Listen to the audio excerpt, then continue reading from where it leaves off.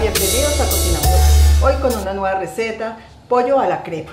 Es un plato muy rico para ocasiones especiales y muy sencillo de hacer. Bueno, vamos a elaborar este plato.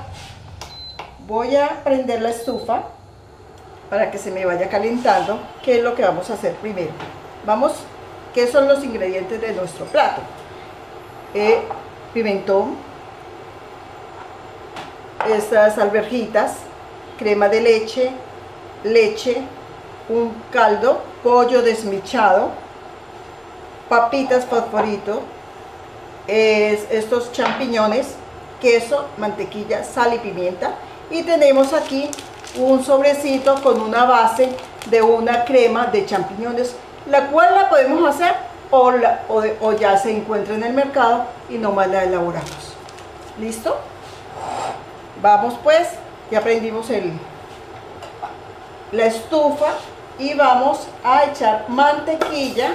Voy a dejar un cubito para luego engrasar el molde donde va a ir nuestro, nuestra preparación. Bueno, el pimentón lo ponemos a sofreír. Vamos a que se desbarate nuestra mantequilla.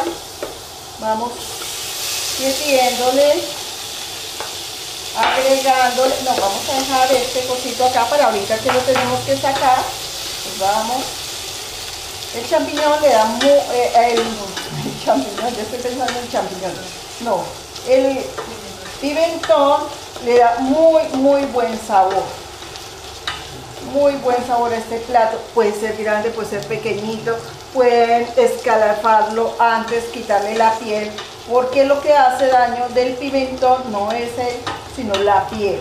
Luego les voy a enseñar cómo escalfar un, un pimentón para quitarle la piel. Y así puedes hacer diferentes, diferentes preparaciones y no le hace daño a la gente, porque la gente que sufre de colon irritable o algo, no le gusta por ese, por ese motivo. Hacemos, dejamos que se cocine rápidamente, que quede lo más marchito que se pueda.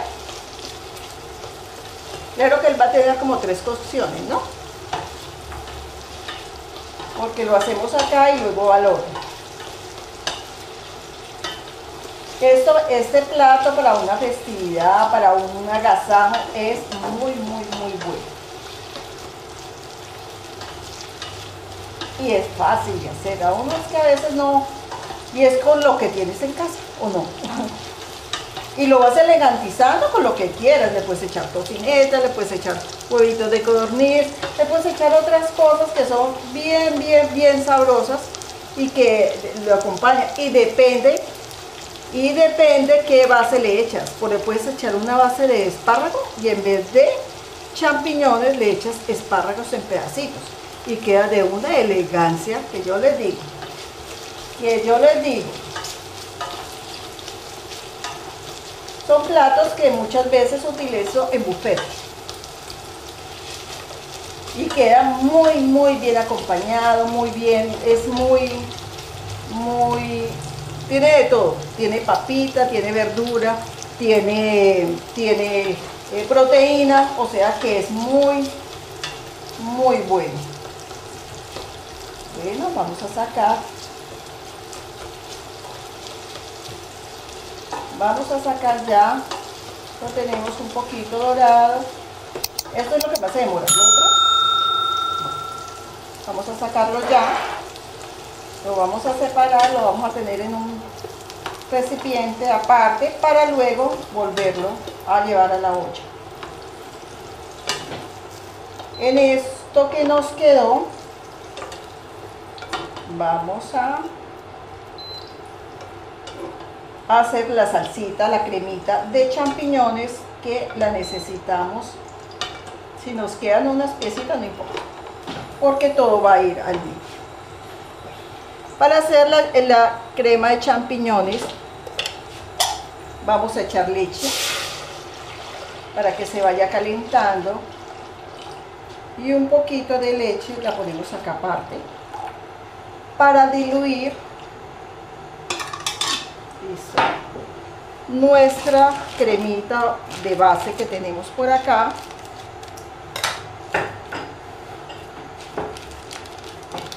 ¿Por qué la diluimos en frío? Para que no se formen grumos. Vamos a hacer que quede bien, bien. Vamos a diluirla con una paletica de estas. Mientras ella se va calentando, vamos a diluirla bien, que no nos quede en grumitos. Si la echamos directamente, vamos a tener que estar mueva y mueva y mueva. Cambio así, es más rápido. Para que no se nos... Una vez echado, esto sí hay que estarlo moviendo para que ella no se nos pegue ni cree una nata abajo. O se nos forme en grumo. Mira, ya quedó bien desvanecido. Uno también le puede echar vino. Vino, pero si le va a echar vino, que sea blanco. Vino de cocina o vino vino blanco. Yo le he hecho, pues a mí me gusta mucho usar el vino. Yo mantengo en mi cocina vino blanco y vino, que hay unos baratos que mantiene uno para cocina. Listo. ¿Cómo vamos acá? Esta que se está escapando. Vamos a hacerle acá. Listo. Dejemos que se caliente lo más que podamos. Vamos a probar aquí cómo está caliente. Listo. Vamos teniendo ahí. El pollo lo cocinas común y corriente, lo desmechas y guardas su caldito que nos sirve luego para complementar por si nos queda muy espeso. Porque, y no le echas sal.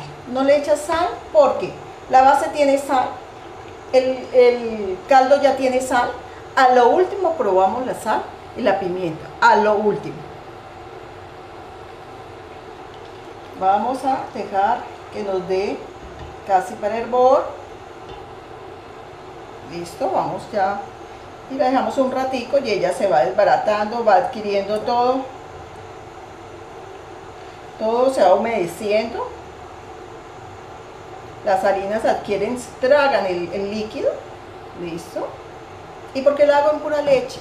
la hago en pura leche porque queda más cremosa, más, más, sabrosa, no le echo agua, el único agua sería el, el del caldito que tiene toda la sustancia del pollo que se cocinó, el, la pechuga.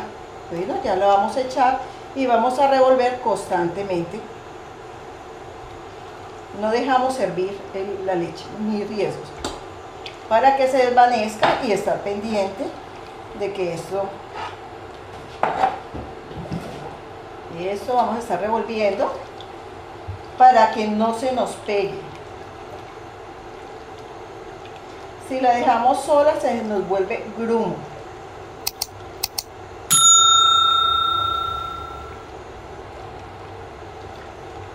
Eso vamos dejando espesar.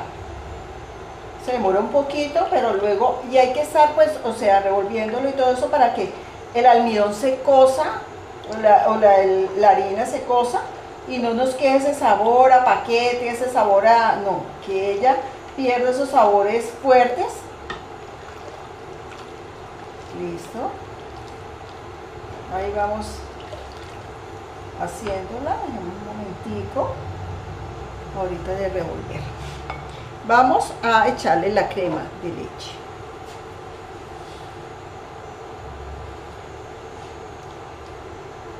para que se vaya incorporando bien y le dé una suavidad porque ella queda un poquito eh, fuerte y al echarle la crema de leche le da una suavidad Estos son los platos que al recalentarlos hay que tener mucho cuidado porque son los que se pueden dañar muy fácil. Todo plato que sea con crema de leche, hay que hacerlo más bien casi para servir, para no tener que recalentarlos. Ya nos está cogiendo punto. Vamos echándole las verduras como el pimentón para que él vaya soltando más. Y va cogiendo color. Miran cómo va cogiendo color. ¿Sí es, va cogiendo color, pero vamos dándole vuelta para que no vaya a formar grumos. Esto está muy alto, entonces hay que estar, mire que si no, si uno detiene, se va formando.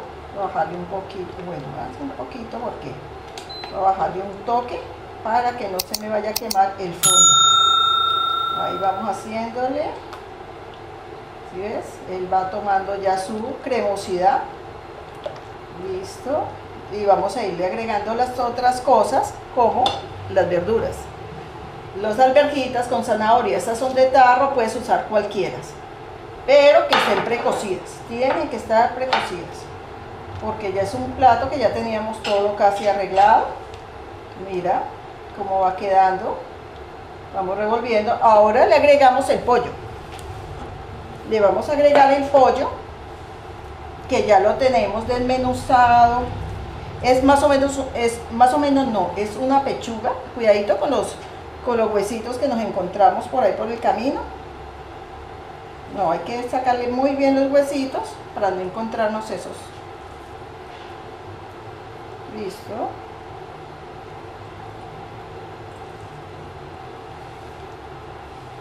listo. Y vamos. Y luego lo volvemos porque a la crema queda cremoso va, él, va adquiriendo. Vemos que no nos hace falta más líquido entonces no vamos a usar el caldo porque ya lo hemos visto que está está suficiente a veces nos pide más o tenemos más pollo no sé pero se ve muy y él tiene que quedar cremoso. Y ahí va adquiriendo, mira cómo vamos formándolo, ya está. Sacando esto. Ahora le vamos a poner el champiñón. El champiñón. No lo queremos que se cocine mucho. ¿Por qué? Porque es más se desaparece. Si uno lo pone, pero lo ponemos al final porque él se desaparece y como va a horno, entonces no va mucho. Listo, voy a bajar un tris más para que él se cocine y no se, mírelo, ahí en este momento si tenemos vino le podemos echar una copita de vino eh, pues pequeñita, ¿no? O media tacita de vino para que quede el hierve el vino, cuando hierva se desaparecen los alcoholes y queda el espíritu. Ya nos ha quedado nuestra crema. Voy a sacarla ya emplatarla. Emplatarla no, a llevarla al horno. ¿Listo? Bueno, aquí, bajarle un poquito mientras, dejémoslo esto aquí.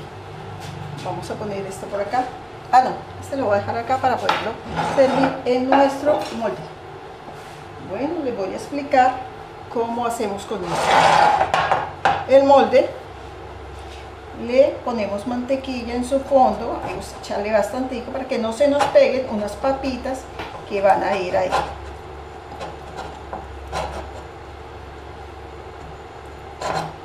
A mí me gusta usar la mano.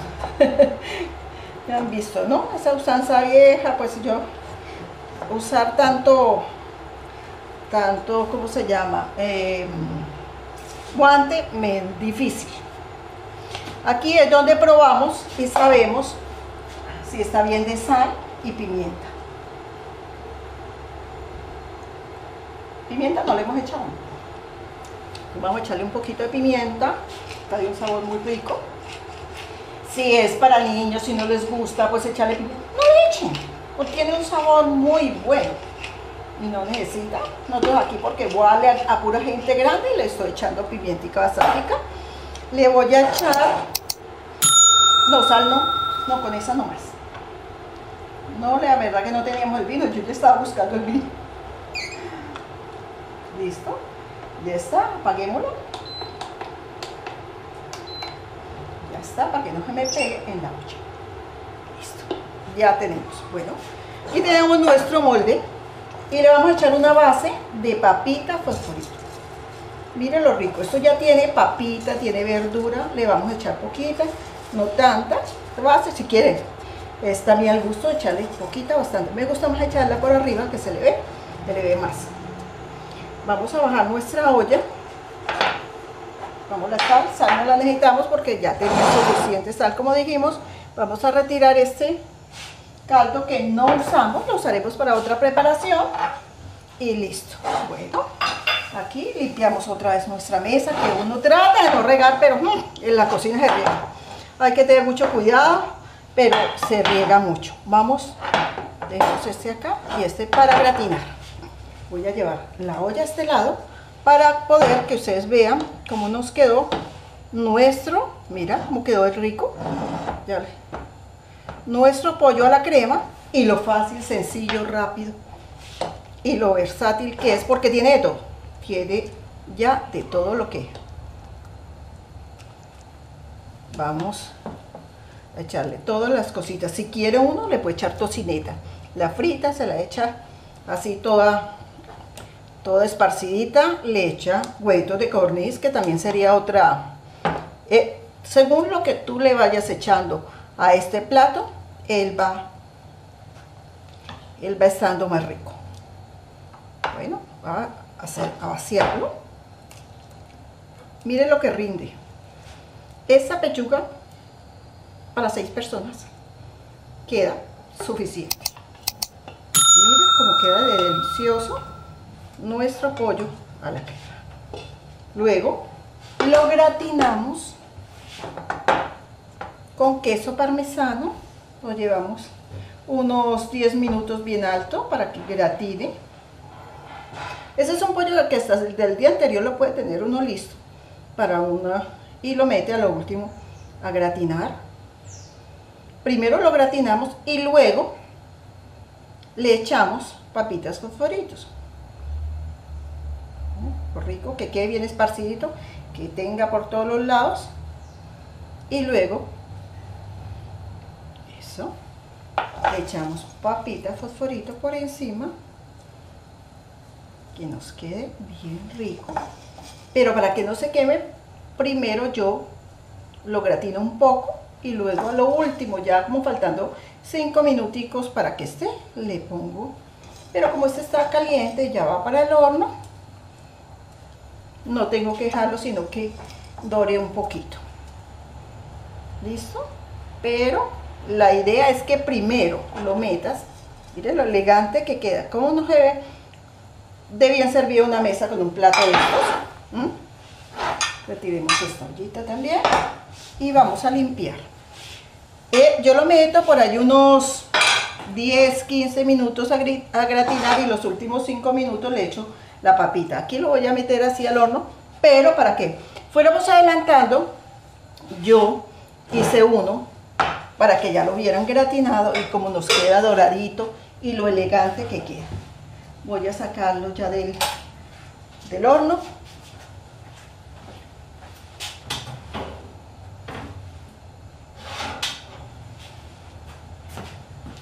Mira la belleza como nos quedó, lo bien presentado.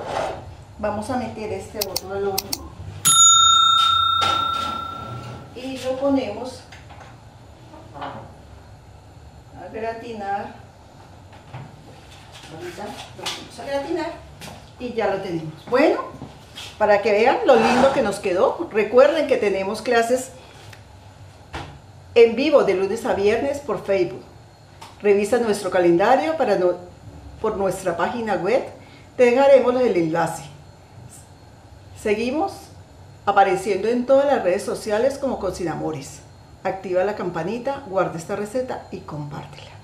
Disfrútala con tu familia y mira que con lo que tienes en casa lo puedes hacer. Pruébalo. Si te gustó, danos un like. Gracias.